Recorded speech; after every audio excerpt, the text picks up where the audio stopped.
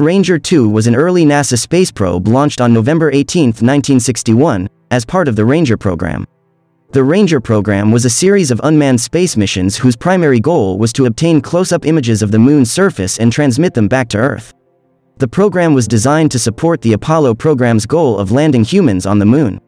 Ranger 2 was launched from Cape Canaveral Air Force Station in Florida on a Thor Agena rocket. The probe had a mass of 329 kilograms and was equipped with six television cameras, two radiation detectors, and various other scientific instruments. Its main objective was to perform a lunar impact, in which the spacecraft would crash into the Moon's surface and transmit data back to Earth until impact. However, the mission was unsuccessful, as Ranger 2 malfunctioned shortly after launch. The Agena second stage rocket did not ignite properly, and the spacecraft was left in a low Earth orbit.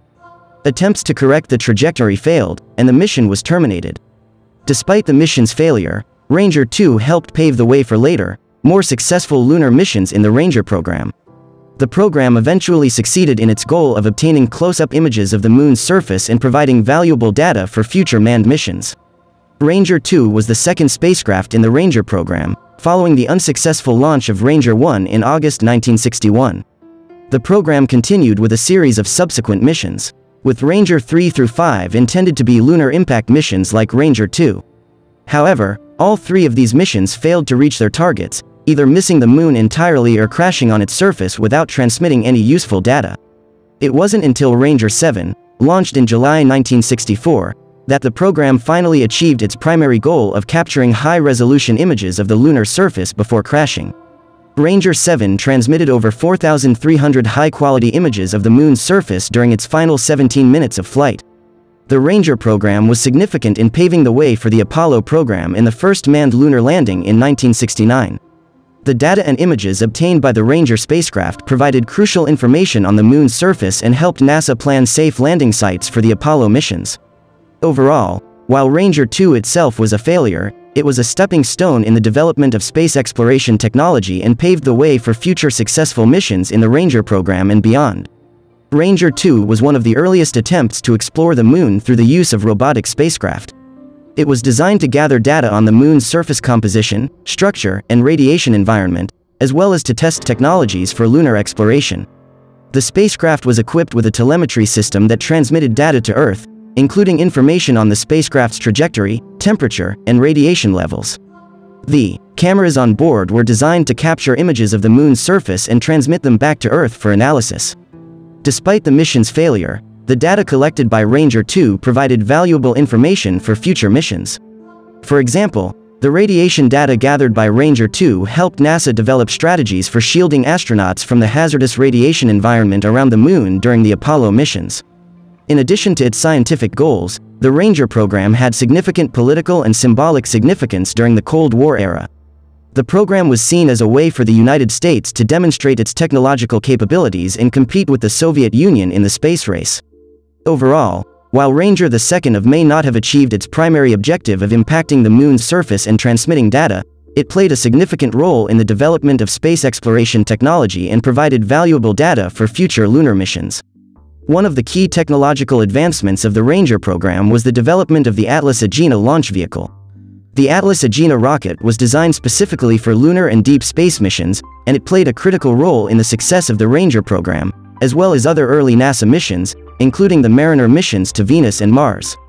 The Ranger program was also significant in advancing the field of planetary science. Prior to the program, scientists had only limited information about the Moon's surface. The high-quality images and data obtained by the Ranger spacecraft allowed scientists to study the Moon in unprecedented detail and gain new insights into its geology, composition, and history. The Ranger program also helped pave the way for later robotic missions to the Moon, including the Lunar Orbiter program, which produced detailed maps of the Moon's surface, and the Surveyor program, which landed spacecraft on the Moon and conducted experiments to prepare for future manned missions. In conclusion, while Ranger 2 may have been a failed mission, it was a crucial step in the development of space exploration technology and planetary science. The data and technological advancements made by the Ranger program helped lay the groundwork for future successful lunar missions and played a key role in advancing our understanding of the Moon and the Solar System as a whole. Another key aspect of the Ranger program was its focus on system engineering and reliability. The program was notable for its emphasis on rigorous testing and quality control, which helped ensure the success of subsequent missions in the program. The Ranger spacecraft themselves were designed to be simple and robust, with few moving parts and redundant systems to increase reliability. The spacecraft were also equipped with gold-plated surfaces to help regulate temperature and prevent overheating during their journey through space. In addition to its scientific and technological goals, the Ranger program also had significant public outreach and educational components.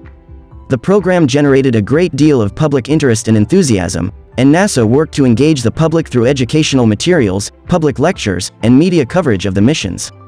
The Ranger program also had a significant impact on the careers of many scientists and engineers who worked on the missions. Many of these individuals went on to play key roles in other NASA programs, including the Apollo program and the Space Shuttle program. Overall, the Ranger program was a significant achievement in the history of space exploration. The program helped pave the way for future lunar missions and advanced our understanding of the Moon and the Solar System. The program also demonstrated the importance of rigorous testing and quality control in the development of space exploration technology and set a standard for reliability that continues to shape the field today. One of the key challenges of the Ranger program was the development of technology to accurately navigate and guide the spacecraft to their targets. The early Ranger missions relied on inertial guidance systems, which were prone to errors and did not provide the level of accuracy required for a lunar impact mission. To overcome this challenge, NASA developed a new guidance system for the later Ranger missions, which used a combination of inertial guidance and celestial navigation. The new system allowed the spacecraft to use the stars and the moon itself as reference points to adjust their trajectory and accurately guide themselves to their targets. The Ranger program also faced significant technical challenges in developing cameras capable of capturing high-quality images of the moon's surface. The early Ranger missions suffered from camera malfunctions and other technical issues that prevented them from transmitting useful data. However, by the time of the later Ranger missions, NASA had developed new camera technology that was able to capture detailed images of the Moon's surface before the spacecraft impacted the surface. The Ranger program also faced significant budgetary and political challenges. The program was originally planned as a low-cost, fast-track project, but technical difficulties and delays pushed the program's costs and timeline beyond their initial estimates. Additionally, the program faced criticism from some quarters for its perceived lack of scientific value and for its emphasis on competing with the Soviet Union in the space race. Despite these challenges, the Ranger program was ultimately a success.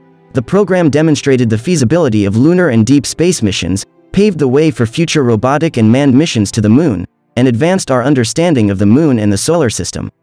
The Ranger program had a significant impact on the public perception of space exploration and inspired many young people to pursue careers in science and engineering. The program generated a great deal of excitement and interest, and the images and data transmitted by the Ranger spacecraft captivated the public imagination. The Ranger program also played a significant role in the political and strategic context of the Cold War era. The program was seen as a way for the United States to demonstrate its technological capabilities and to assert its leadership in the space race against the Soviet Union. The program also had symbolic significance, representing the possibility of peaceful exploration and cooperation in space. The Ranger program was not without controversy, however. Some critics questioned the scientific value of the program and argued that the money and resources could be better spent on other scientific and social priorities. Others criticized the program for its emphasis on competition and nationalism, arguing that space exploration should be a global effort. Despite these criticisms, the Ranger program remains a significant milestone in the history of space exploration. The program demonstrated the technical feasibility of lunar missions and laid the groundwork for subsequent robotic and manned missions to the Moon. The program also advanced our understanding of the Moon and the Solar System and inspired a new generation of scientists and engineers.